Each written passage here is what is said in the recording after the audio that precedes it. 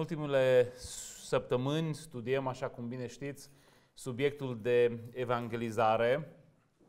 Ba mai mult, încercăm să punem în practică uh, această chemare care o avem ca și uh, biserică, ca și ucenicii lui Hristos, de a merge în toată lumea și de a face ucenici. Um, studiem, ne pregătim, dar uh, încercăm prin puterea Duhului Sfânt să împlinim ceea ce ne învață Sfânta Scriptură. Uh, și știți foarte bine că ne-am propus fiecare dintre noi uh, ca să ne rugăm pentru evangelizare, ca să avem în um, mintea noastră persoane specifice pentru care să ne rugăm, uh, cu care să interacționăm, să ne rugăm ca Domnul să ne deschidă oportunități prin care să le vorbim acestor persoane și să mergem și să vestim Evanghelia în viața noastră de zi cu zi. Um, și dacă împlinim aceste lucruri, dacă mergem și vestim Evanghelia, în mod inevitabil ne vom confrunta cu respingere. În mod inevitabil. De fapt, majoritatea interacțiunilor vor fi uh, acelea de respingere. Și în această seară am, am vrea ca să uh, învățăm, să ne pregătim pentru pentru respingere, pentru respingere. Să înțelegem anumite lucruri importante despre acest fenomen și să fim uh, pregătiți ca să întâmpinăm această reacție care o vom întâmpina de foarte multe ori când uh, mergem și vestim altora Evanghelia. Da? Um, există multe motive pentru care, pentru care oamenii resping vestirea noastră și este adevărat că câteodată anumite motive, motivații sunt chiar și uh, legitime. Sunt unii creștini care, între ghilimele, vestesc Evanghelia în așa fel încât este absolut normal ca cei care o aud de la noi ca să o respingă. Sunt unii creștini care o vestesc într-un mod violent, o vestesc uh, într-un fel uh, răutăcios, o, o vestesc într-un fel uh, plin de ipocrizie. Zic una, fac alta. Um, sunt multe motive bine întemeiate pentru care oamenii uh, resping, poate în acele cazuri mai puțin Evanghelia, cât uh, mesagerul care le aduce acea veste, uh, dar nu vorbim în această seară despre asemenea cauze.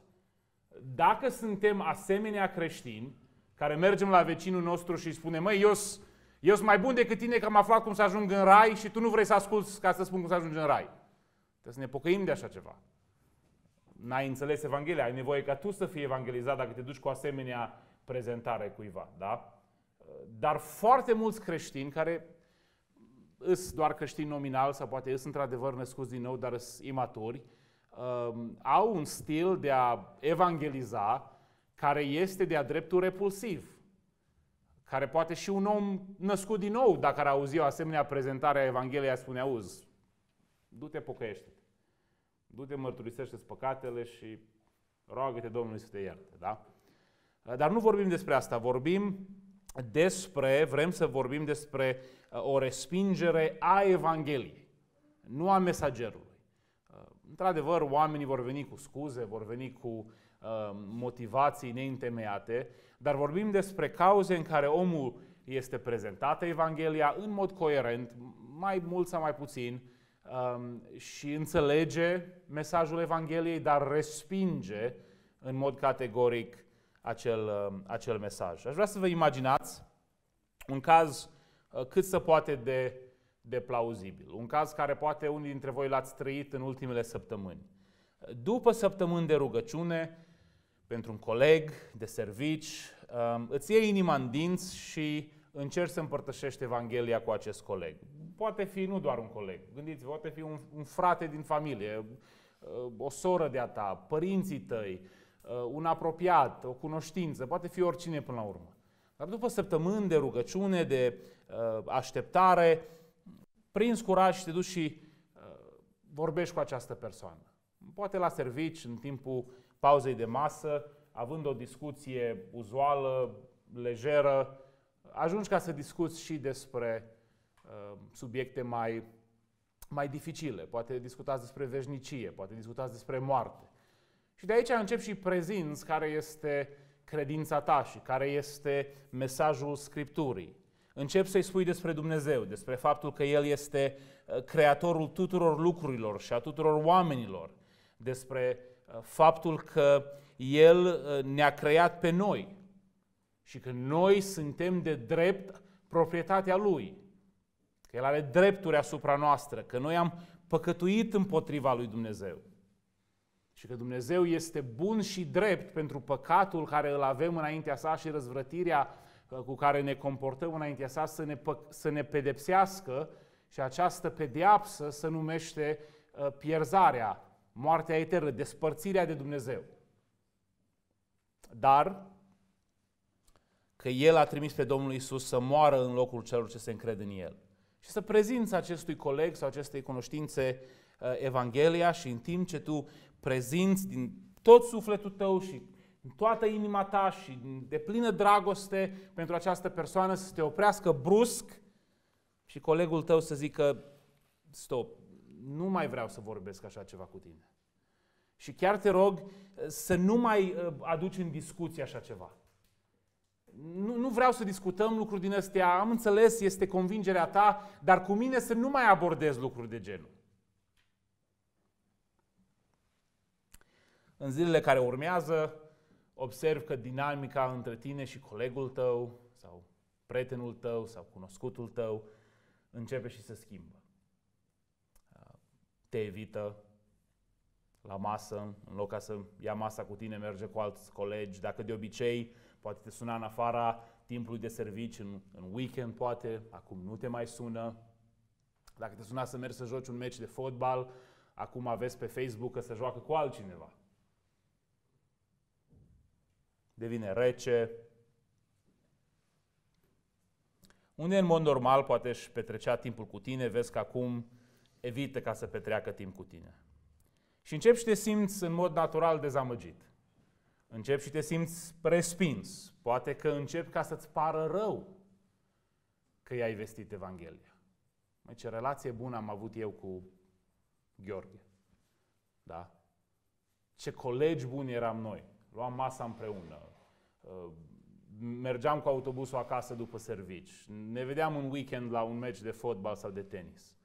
Și de când am avut discuția aia cu el, nu mai vrea să vorbească cu mine. Mă evită, să uită ciudat la mine. Te gândești, poate te gândești că tu ești problema, că tu ești de vină. Adevărul este, și Biblia ne arată acest lucru, că dacă suntem împlinitori, nu doar cunoscători ai poruncii Domnului Isus Hristos ca să mergem în toată lumea să facem ucenici, ne vom confrunta cu respingere. Ba mai mult, de multe ori ne vom confrunta cu persecuție, de un fel sau altul. Poate fi persecuție la nivel înalt, în unele state unde creștinii sunt într-adevăr persecutați și închiși pentru credința lor, sau la nivel mai mic. Lumea râde de tine.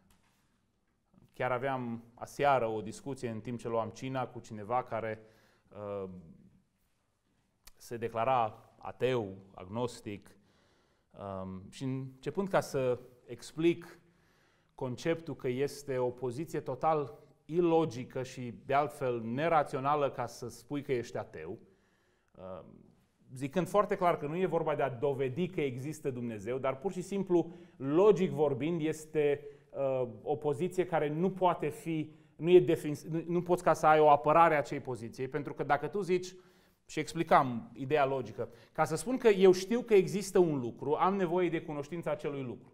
Dacă eu zic că știu că există sticla asta, eu doar trebuie ca să am cunoștința acestei sticle. Adică, uite, am pus mâna pe ea, da? Și știu că există această sticlă. În schimb, ca tu să spui că ceva nu există, în mod cert, 100%, nu trebuie să ai cunoștință doar acelui obiect, ci trebuie să ai cunoștință infinită. Realmente trebuie ca să poți cunoaște tot ceea ce s-ar putea cunoaște. Păi poate sticla nu este aici, poate sticla este la mine acasă. Poate sticla este la birou. Poate sticla este în centru pe platou. Ai fost în toate lucrurile astea să-l verifici? Nu. Ca să spui cu certitudine că sticla care eu o descriu, folosesc sticla că e aici, la învon, da? Nu există, tu trebuie să ai o cunoștință infinită, ca să spui cu certitudine totală. Da? În schimb, să spui cu certitudine că ceva există, trebuie să ai dovezi și cunoștințe doar despre obiectul sau persoana în cauză. Da? Logic. N-are nicio treabă cu Dumnezeu. Poți ca să substituți Dumnezeu cu sticlă sau cu telefon sau cu o cifră, da? dacă facem logic matematic. Deci, logic vorbind, nu religios, nu teologic, cunoștința că un lucru nu există în mod cert, fără îndoieli, necesită o cunoștință infinită. Da? Și persoana aceasta s-a uitat la mine și a început să-mi râdă în față. A început să râdă de mine, realmente. Ha! Fantastic! Ce prostie! Numai un creștin ar putea să creadă așa ceva. Ironia era că nici măcar nu discutam despre creștinism. Discutam despre ceva care orice filosof, orice matematician, orice om cu un pic de școală ar zice, da, este total logic. Nu are nicio treabă cu Dumnezeu. Da? Și acum, și se spune Biblia, întâi vine cei firesc. și îți vine să-și, măi, dau cu ăsta sau cu asta de pământ, intelectual vorbind, de nu se mai scoală o lună de zile, nici nu mai știi cum să se spele pe dinți dimineața. Da? Dar după aia vine cei duhovnicesc, dacă ai Duhul Domnului. Uh, dar și asta e o, o formă de persecuție. În ziua de astăzi, mai ales ateii, mai ales uh, uh, partea asta liberală, uh, tinerii din ziua de astăzi, uh, au tendința aceasta ca să creadă că oricine este un om de credință este un om needucat, este un om prost, este un om care este irațional și sunt extrem de militanți pe chestia asta. Cum prind un om care zice că crede în Dumnezeu și bat joc de el, râde el, nici nu stau să discute și să vadă ce crede omul ăsta, cum crede, de ce crede și așa mai departe. Și știți că nu este ușor. Mulți dintre voi ați experimentat lucrul acesta, poate chiar în comunitatea creștinilor, așa zis. Ați trăit poate în comunități de creștini în care n-ați experimentat vreodată acest fenomen. Da? Nimeni vreodată nu v-a zis că sunteți ridicol pentru credința voastră. Nimeni vreodată nu a râs de voi pentru convingerile voastre biblice sau lipsa de convingeri. Nu conta că discutați cu baptiști, cu penticostal, cu adventiști, cu orice ar fi. Toată lumea se îmbrățișa și totul era bine, da? Cu ortodoxi, cu agnostici, că era așa, totul apă și un pământ. Și în ultimii doi ani v-ați concretizat crezul dumneavoastră din Sfintele Scripturi și aveți niște cunoștințe biblice. Și când începi să împărtășești ceea ce spune Biblia despre anumite subiecte, dintr-o dată vezi că există o respingere. Inclusiv de la oamenii care înainte te îmbrățișau. Poate inclusiv de la părinți sau de la cunoscuți, de la prieteni. Pe cu tu cum poți să crezi așa ceva? Păi da, nu, eu n-am zis ce cred eu, nu ți-am citit un verset. Atât. Nici n-am zis nimic, n-am apucat să zic ce cred eu că spune versetul. Ți-am citit numai... tu ai citit Efeseni în capitolul 1. Tu te de aici cu prostiile astea. Dar, dar e Efeseni capitolul, n-am zis nimic despre el. Da? De ce? Pentru că respingerea Evangheliei și respingerea Cuvântului lui Dumnezeu este o reacție naturală. Și dacă ești implicat în studierea cuvântului, în cunoașterea voii lui Dumnezeu și investirea cuvântului și voii lui Dumnezeu, vei experimenta respingere și persecuție. Este inevitabil. Inevitabil. Creștinul care spune că el e plăcut și să împacă cu toată lumea, am dubii că este creștin. Domnul Iisus n-a fost în stare să facă lucrul acesta. Să fie iubiți de toți și să împece cu toți. N-a fost, Apostolul Pavel n-a fost în stare. Apostolul Pavel spune chiar în comunități de creștini că este bine ca să fie dezbinare, partide între voi, chiar teologic vorbind, ca să se dovedească cine are dreptate și cine e bun. Cine vorbește pentru Dumnezeu, da? cine are perspectiva biblică. În ziua de astăzi, dacă ești uh, uh, unul care produce dezbinare, nu prin ceea ce faci, ci prin ceea ce crezi și prin faptul că vestești cuvântul lui Dumnezeu, chiar creștinii zic, măi, asta nu e foarte creștinești. O, nu avem voie să judecăm. Nu, nu în sensul că să urâm pe cineva pentru poziția lor, ci să raționăm poziția lor. Să zicem, uite, poziția ta e ilogică sau nebiblică. Da? În schimb, Domnul Iisus asta face tot timpul. Are discuții cu farisei și le spune, voi sunteți păcătoși și nu vă cunoașteți Scripturile. Și le explică de ce nu-și cunosc Scripturile. Ce o să zice Domnul Iisus? Doamne, n-ai voie să judeci, totuși, fiecare cu interpretarea lui. Da? Apostolul Pavel, la fel, este extrem de tăios în lucrurile astea. Asta în comunitatea de creștini. Da? Chiar acolo se întâmplă persecuție. Dar în afară este cu atât mai amplificat. În momentul în care uh, uh, discuți orice cu un om, orice, pe orice subiect aproape, în afară poate în România de politică, care e foarte... Uh, poți fi prieten. În momentul în care discuți problema Dumnezeu, Domnul Isus, mântuire, iad, da? Se polarizează, se polarizează lumea. Deci adevărul așa cum ziceam, este că dacă suntem adevărați ucenici, care merg și fac alți ucenici și încearcă să vestească Evanghelia, vom întâmpina, vom întâmpina um, respingere și, și persecuție. Da? Și în această seară uh, aș vrea ca să ne punem două întrebări importante pe această temă și să avem câteva sfaturi care să ne ajute când ne confruntăm cu acest fenomen. Uh, prima întrebare care cred că este pertinentă, dacă asta este realitatea, că vestirea Evangheliei se confruntă cu uh, respingere, prima întrebare pertinentă este de ce resping oamenii Evanghelia? Trebuie să considerăm de ce o resping, da? Uh, vreau să fac ceva cât se poate declar de la început. Dumnezeu este Cel care mântuie oameni. Dumnezeu este Cel care salvează oameni. Niciun om nici măcar unul nu va rata mântuirea pentru că tu nu ai avut abilitățile necesare ca să-i vestești Evanghelia în așa fel încât el să fie mântuit. Niciunul. Niciun coleg de al tău nu va merge în iad pentru că tu te-ai bâlbâit când i-ai mărturisit Evanghelia lui Hristos. Zero asemenea cazuri. Da? Zero asemenea cazuri. Dumnezeu este Cel care mântuie. Noi suntem instrumente, într-adevăr, în mâna Lui și ceea ce încercăm să facem în această seară și în serile de studiu e să ne șlefuim, să ne ascuțim, să fim instrumente folositoare. Dar este Dumnezeu Cel care mântuie. Înțelegerea asta este esențială pentru a avea curajul necesar pentru a evangeliza și pentru a folosi metodele corecte pentru evangelizare. Dacă devii convins, cum, a devin, cum au devenit majoritatea creștinilor în ziua de astăzi convinși, că cumva ă, totul depinde de formula lor magică, de aptitudinile lor, vei tot modifica felul în care evangelizezi până când vei modifica Evanghelia care o provăduiești. Vei încerca o metodă, o altă metodă, o altă metodă, vei vedea că metodele de la sine nu produc rezultate, adică membrii, Uh, oameni care zic că sunt convertiți, contribuabili la biserică. Nu, nu, metodele de la sine nu, nu produc. Schimbarea mesajului, în schimb, produce. Da? A vesti omului ce vrea să audă, rețin într-o discuție cu un, între ghilimele, păstor de aici din oraș, îmi explica el că, mă, Mihai, trebuie ca să știi să-ți vinzi marfa. Aici vorbim despre plantarea bisericilor, da? și despre evangelizare. Trebuie să știi să-ți vinzi marfă. Ca la piață. Te duci și expui roșii. Și dacă vezi că nu trec, schimbi cu castraveți.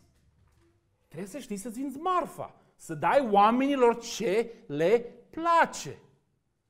Mai, nu știu unde în 2 erezii 3 cu 4 a citit el lucrul ăsta. Dar nu există așa ceva în, în Scriptură. Da? Scriptura vorbește despre credința dată odată pentru totdeauna Sfinților, Scriptura vorbește despre dreptarul învățăturii sănătoase care îl avem de la apostol. Scriptura vorbește despre cuvântul lui Dumnezeu din care nu va trece nici măcar o iotă. Nicăieri nu spune, știi, dacă ai încercat asta cu uh, Evanghelia, cu Dumnezeu creator și suveran, cu oamenii răzvrătiți împotriva Lui, cu pedeapsa eternă care ne așteaptă și cu jertfa Domnului Isus Hristos, care este singura metodă a mântuirii, dacă asta nu merge, hai să o schimbăm un pic. Noi nu suntem chiar așa de răzvrătiți, suntem așa un pic, știi, adormiți, noi nu suntem chiar așa de păcătoși, chiar așa de depravați. Noi nu că vom fi trimiși în ea, doar că nu ne vom realiza potențialul, da? Deja când vorbești, numai asta să schimbi. Nu mai vorbi despre iad și vorbi despre faptul că Dumnezeu vrea să te mântuie din starea în care te afli ca să-ți realizezi potențialul maxim. Și o să vezi că o să ai, ca la Loran Soares, plin o să fie de oameni care vin la seminarul tău. Plin! Dacă vorbești despre faptul că Dumnezeu, în dragostea Lui, mântuie pe oameni ca ei să trăiască o eternitate în prezența Lui, o veșnicie în prezența Lui, goală sala. Dacă vorbești despre realizarea potențialului maxim, da? Sau uh, Joe Austin, live your best life now. Trăiește-ți viața cea mai bună acum. Este antiteza creștinismului. Da? Teza creștinismului e că viața noastră cea mai bună nu e acum, e în veșnicie. Asta e principiul esențial în creștinism. Um, deci vreau să fiu foarte clar. Dumnezeu este Cel care mântuie. Și El se folosește de noi ca și instrumente, fără îndoială, dar El este Cel care mântuie. El este Cel care în mod decisiv hotărăște și duce la împlinire uh, mântuirea. Luca 19 cu 10, căci Fiul omului a venit să caute și să mântuiască ce era pierdut. Dar asta e misiunea Domnului Isus Hristos. Apropo, oricine vine cu o altă evanghelie și spune Domnul Isus Hristos a venit să dea, să dea șansă la mântuire. E o blasfemie. E o blasfemie și o insultă la adresa Domnului Isus Hristos. Biblia ne spune că misiunea Domnului Isus Hristos a fost să mântuiască. Și dacă noi spunem că El nu a mântuit ce și-a propus să mântuiască, spunem că Isus Hristos, Dumnezeu, ă, Mântuitorul nostru, a fost falimentar în misiunea sa. De aceea schimbarea de teologie de la un Dumnezeu care mântuiește în mod suveran, la un Dumnezeu care creează un cadru de mântuire, nu este inocentă. Este un atac la slava lui Dumnezeu, la meritul lui Dumnezeu și la aptitudinea lui Dumnezeu. Dar, într-adevăr, dacă Dumnezeu n-ar fi declarat în mod clar care este misiunea și care sunt parametrii în care va mântui, atunci puteam noi să inventăm și să debităm. Dar El a zis clar, Domnul Iisus Hristos a fost trimis să mântuie da? și să răscumpere ceea ce a fost pierdut. Și Biblia ne arată că acest ceea ce a fost pierdut este definit. Că există o carte în care sunt scrise toți oamenii în mod nominal. Da? Că există uh, toți aceia care sunt răscumpărați au fost cunoscuți de Dumnezeu mai dinainte, da, au fost iubiți de Dumnezeu mai dinainte, au fost aleși de Dumnezeu mai dinainte. A spune că Dumnezeu n-a știut pe cine vrea să mântuie, și că așteaptă cumva să vadă cum o să meargă schema asta lui cu crucea, este o blasfemie. Este o blasfemie, este un afront uh, în fața lui Dumnezeu. Ioan 6 cu 63 spune, Duhul este cel ce dă viață, carnea nu folosește la nimic. Cuvintele pe care vi le-am spus sunt Duh și viață. Da? Deci noi lucrăm, ne zbatem, transpirăm, vestim Evanghelia, dar suntem ferm convinși că tot efortul nostru, toată transpirația noastră, toată sângerarea noastră chiar, da? toată cheltuiala noastră nu poate mântui nici măcar un om. Nici măcar un om. John MacArthur zicea că uh, doctrina suveranității lui Dumnezeu în mântuire este doctrina care îl abilitează să doarmă liniștit noaptea. Se trezește dimineață, studiază cuvântul, predică cuvântul, face misiune și noaptea să culcă și doarme ca un bebelaș. Pentru că știe că nu e în controlul lui. Da? Rezonez cu asta.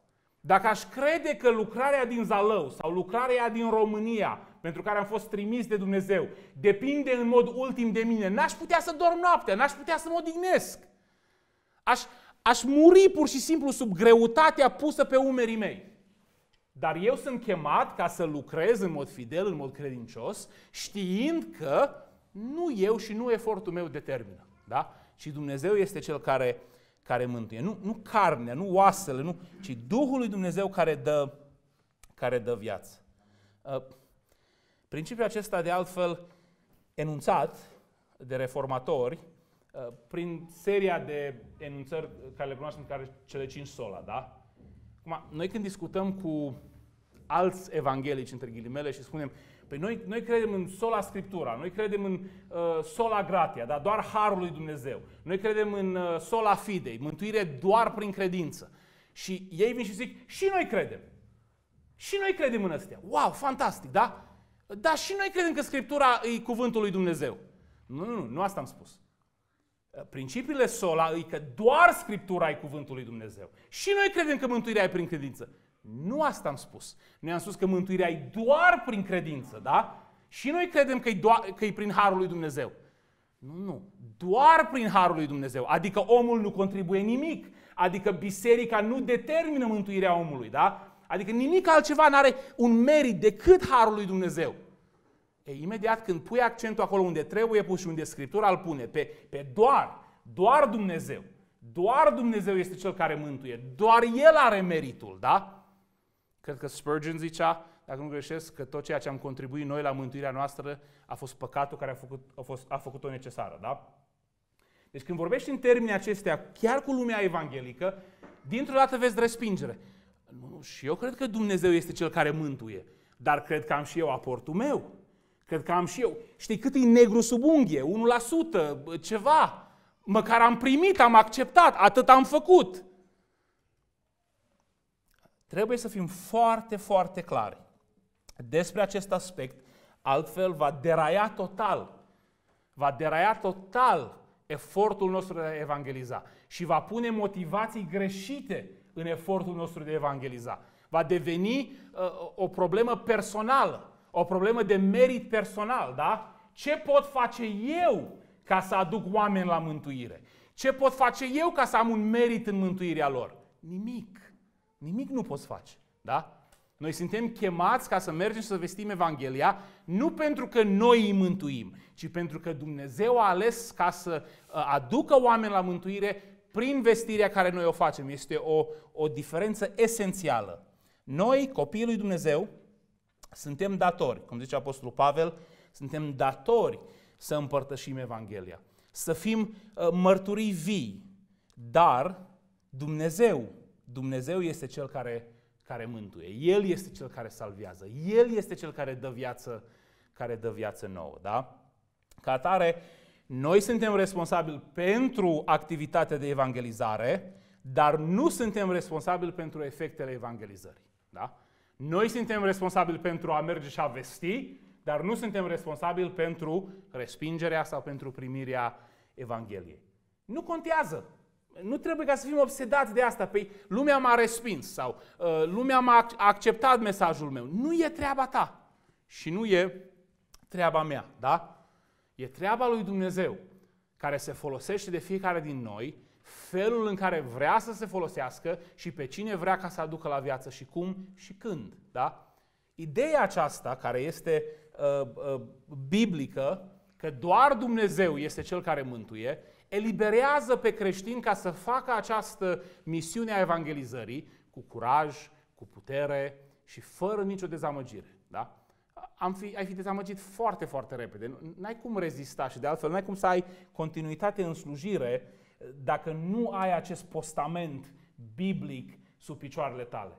Ca și predicator, ca și păstor. Ai obosi nu după șase ani, după șase luni. După șase luni, da? Te totuși la învon șase luni și tot predici Evanghelia și vezi că nu, nu crede nimeni. Și vezi că și cei care zic că cred nu se prea pocăiesc. Ce mai are rost?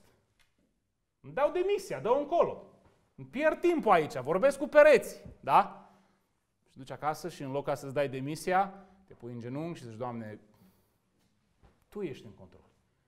Eu îs pregătit, mă duc și duminica viitoare, predic și duminica viitoare, le spun încă o dată, Doamne, te rog, fă Tu o schimbare, că eu nu pot, n-am eu o formulă magică, nu pot, ce pot face? Ce pot face? Da? Ne eliberează ca să evangelizăm cu curaj, cu putere și ne inoculează de durerea respingerii. Ne inoculează uh, de descurajare, pentru că știm că toate sunt uh, în mod ferm în control în mâna lui Dumnezeu care este suveran peste absolut tot, inclusiv peste mântuirea oamenilor care ascultă Evanghelia vestită din gura, din gura noastră. Uh, totuși, totuși, întrebarea rămâne, de ce resping oamenii atunci Evanghelia? Da? De ce resping oamenii atunci Evanghelia? Și într-un cuvânt, răspunsul este pentru că sunt păcătoși. De aia resping Evanghelia. În esență, păcatul asta este. Păcatul este o respingere, o dezonorare, o neacceptare, o neascultare a lui Dumnezeu. Asta este în esență păcatul, da? Adam și cu Eva, de la început, de când intră păcatul în rasa umană. Ce au făcut? N-au ascultat de Dumnezeu. Au ascultat de șarpe și de dorințele lor mai mult decât au ascultat de Dumnezeu.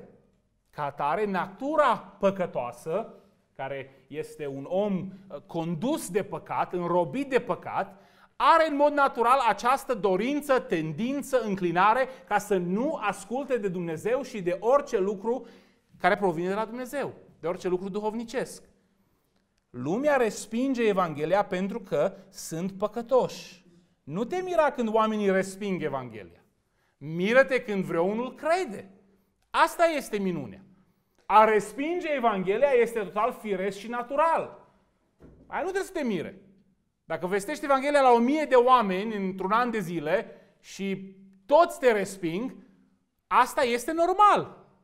Este minune atunci când unul spune, da, cred și mă pocăiesc de păcatele mele și mă întorc la Dumnezeu. Aia este minunea care o lucrează Dumnezeu. Efesen 2, în ultima vreme, cred că a devenit chiar, chiar poate peste Romani 8 și 9, cel puțin pentru ultimele luni, pasajul meu favorit din, din Scriptură.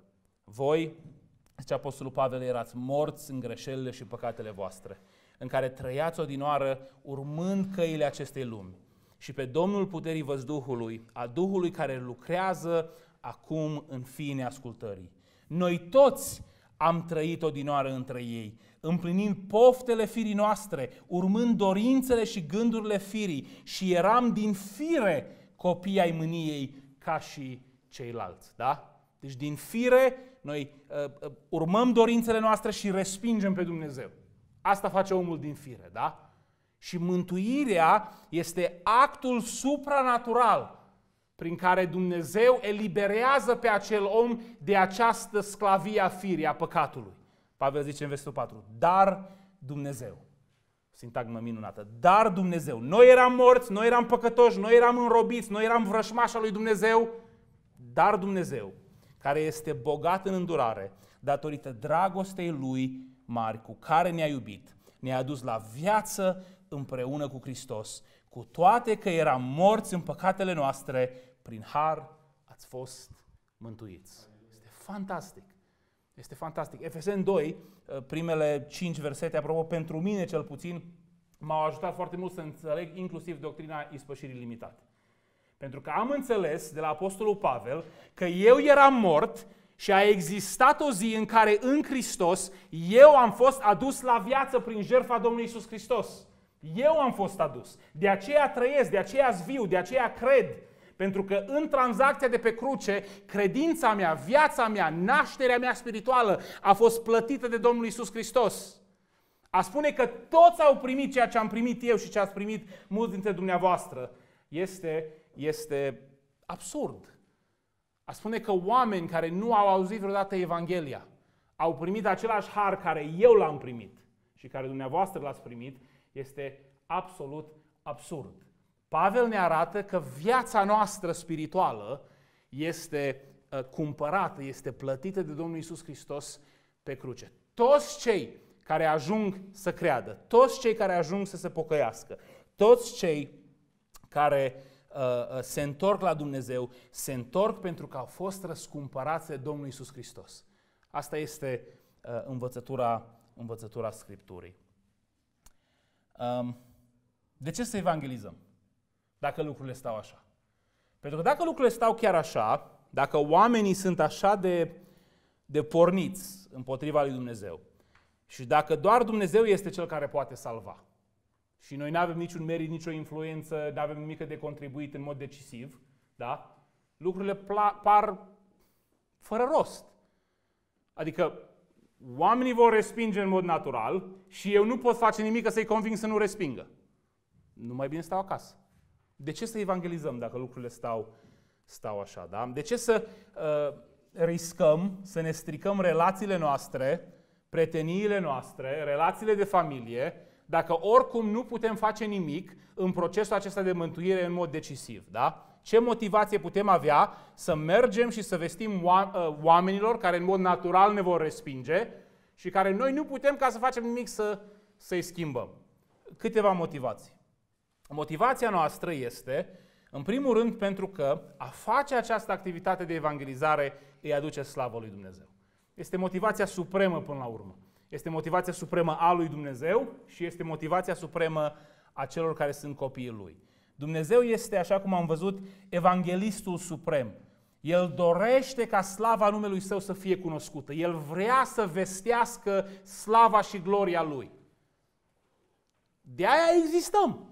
Pentru că El vrea ca să-și arate slava față de noi, noi să fim beneficiarii slavei lui Dumnezeu. Da? El își vestește slava lui prin creație, el își vestește slava lui prin uh, scriptură, el își vestește slava lui prin mai ales prin crucea Domnului Isus Hristos și El caută și își vestește slava Lui prin evangelizarea care noi o facem. Da? De aia ne-a trimis ca să fim și noi unelte prin care slava Lui Dumnezeu ca să fie, ca să fie vestită. Da?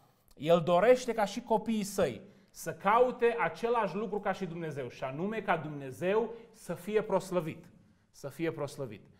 Și Biblia ne arată că Dumnezeu va fi proslăvit indiferent de ceea ce se întâmplă. Tot universul acesta, toată istoria aceasta, orice uh, uh, convertire și orice respingere, da? orice mântuire și orice condamnare, până la urmă vor sluji spre slava lui Dumnezeu. Vasul de cinste și vasul de ocară. Tot, tot este rânduit de Dumnezeu ca să-și arate slava Lui. În mântuirea care o dă în dar, își arată bunătatea Lui și în pediapsa care o dă asupra celor păcătoși care nu se întorc la el, își arată dreptatea lui. Dar în toate manifestările acestea se vede slava lui Dumnezeu. Pentru că slava lui Dumnezeu este a privi caracterul lui Dumnezeu. Este totalitatea a ceea ce îl face pe Dumnezeu Dumnezeu. Dacă Dumnezeu doar ar mântui și n-ar trimite pe nimeni în iad, nu am vedea dreptatea lui. Nu am vedea dreptatea lui, n-am vedea uh, sfințenia lui, n-am vedea atribute esențiale a ceea ce înseamnă Dumnezeu în contrast cu ceea ce este păcatul. Da? Dacă Dumnezeu, în schimb, doar ar trimite în iad, ar fi bun, să fie foarte clar. Ar fi bun, ar fi just, ar fi corect. Dar noi n-am vedea. Noi n-am experimentat ce înseamnă bunătatea lui Dumnezeu. Am experimentat doar ce înseamnă sfințenia lui Dumnezeu, da? Doar ce înseamnă mânia lui Dumnezeu. Și Dumnezeu a vrut ca acest univers și creaturile care le-a creat, noi, copiii săi, să experimenteze și să vadă tot ceea ce înseamnă slava lui Dumnezeu. De la sfințenie până la milă, da? de la mânie până la har. Tot. Să privim la totalitatea ceea ce înseamnă Dumnezeu și să ne minunăm de gloria și de slava Lui. De aceea există iadul. De aceea există pediapsă pentru păcat. De aceea există uh, uh, necaz și catastrofe. Dar de aceea există și zile cu soare, de aceea există rai, de aceea există familii și copii care sunt daruri de la Dumnezeu. Toate veste slava lui Dumnezeu. Da? Toate. Inclusiv, inclusiv chemarea noastră de a vesti Evanghelia și de a fi ambasadori al lui Dumnezeu. Al doilea rând, pentru că există o singură cale prin care oamenii pot fi mântuiți. Și anume prin Isus Hristos. Și pentru că dacă dorim realmente ca oamenii să fie mântuiți, ei trebuie ca să audă Evanghelia Domnului Isus Hristos. Da? Ei trebuie ca să audă. În creștinul adevărat, real, nici măcar nu există această contradicție. Păi dacă oricum Dumnezeu hotărăște, de ce mă mai poartă pe mine să nu să vestesc Evanghelia? Gândul acesta într-un creștin matur nici măcar nu se naște. Într-un creștin matur poate. Da? Într-un creștin matur, este în felul următor. Dumnezeu este suveran peste mântuire și eu am cinstea să fiu unealta Lui. Să mă duc să le spun oamenilor singura cale spre mântuire.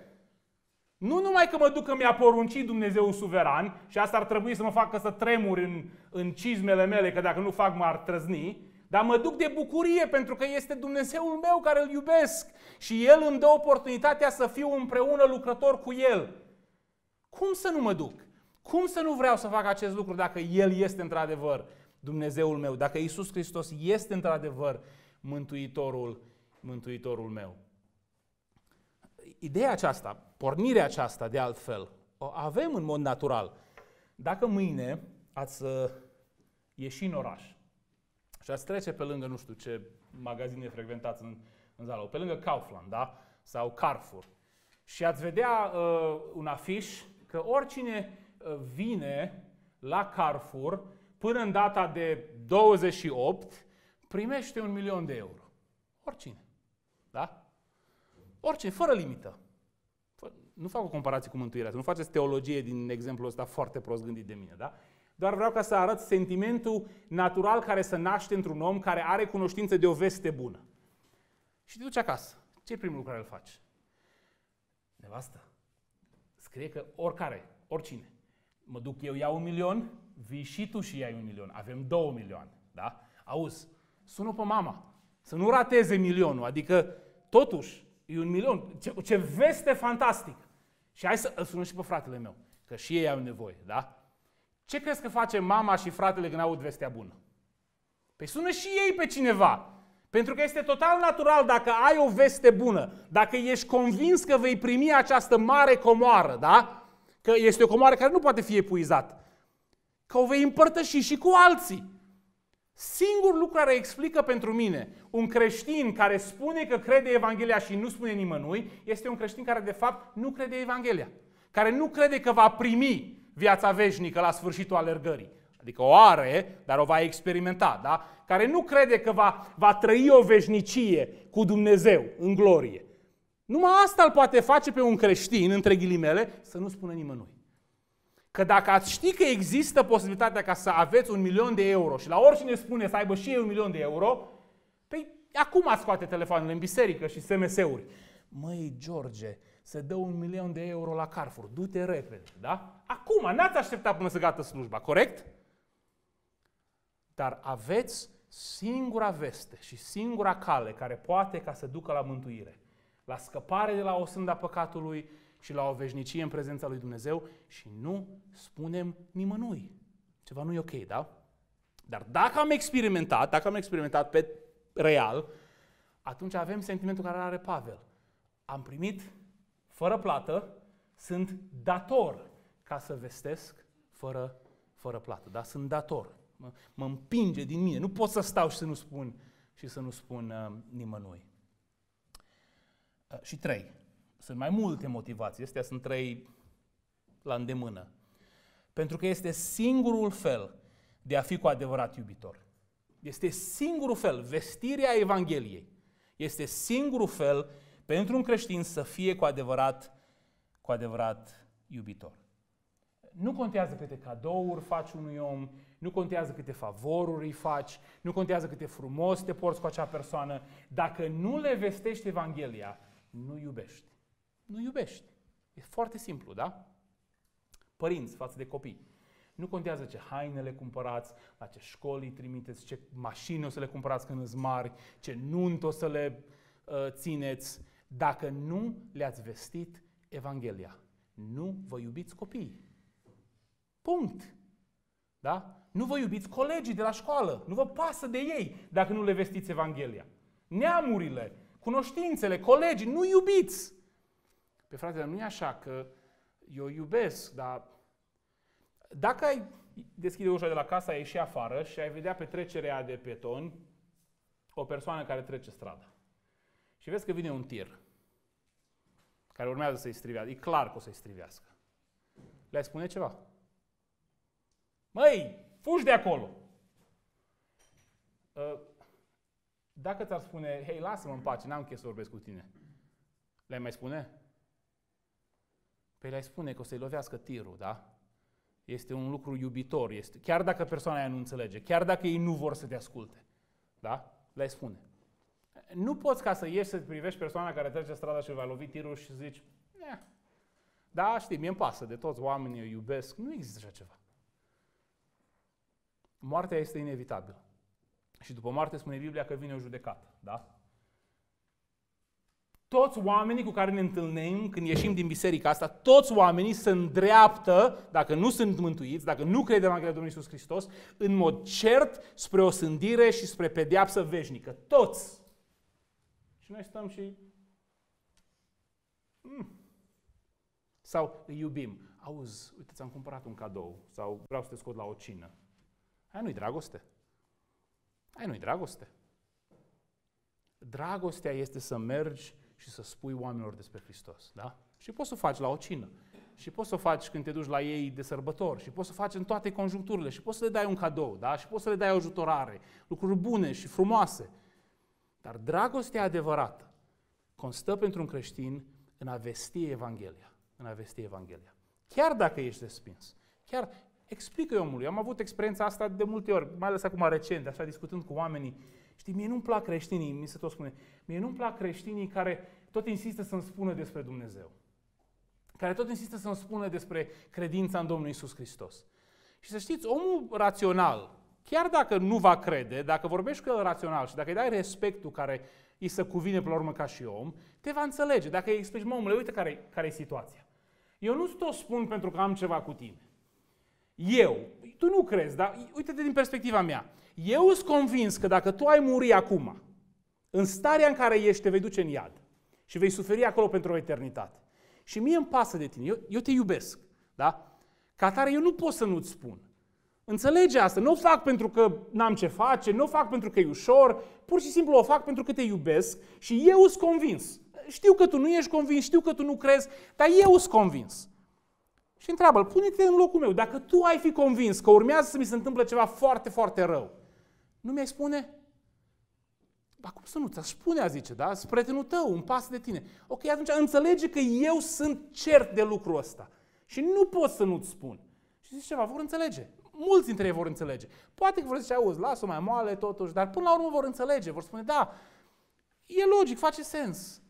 Și vă veți mira câți oameni vă vor acorda încă o șansă și încă o șansă să vorbiți cu ei când le explicați perspectiva, perspectiva voastră. Dar perspectiva nu e, hei, popa nu mai are nevoie de 5 membri că au scăzut contribuțiile. Și de aia vin ca să fac eu prozelitism, da? Hei, am un club foarte fain și mai am nevoie de membri. Nu, nu asta e perspectiva noastră. Perspectiva creștinului e că noi știm că oamenii care nu l-au pe Domnul Isus Hristos se duc la pierzare. Și din dragoste mergem și le spunem despre această veste bună. Și altfel poți dialoga când oamenii înțeleg care este motivația, motivația ta, da? Um, deci, cum ziceam, a treia motivație, sunt foarte multe, a treia motivație este pentru că este singurul fel real de a fi cu adevărat, cu adevărat iubitori.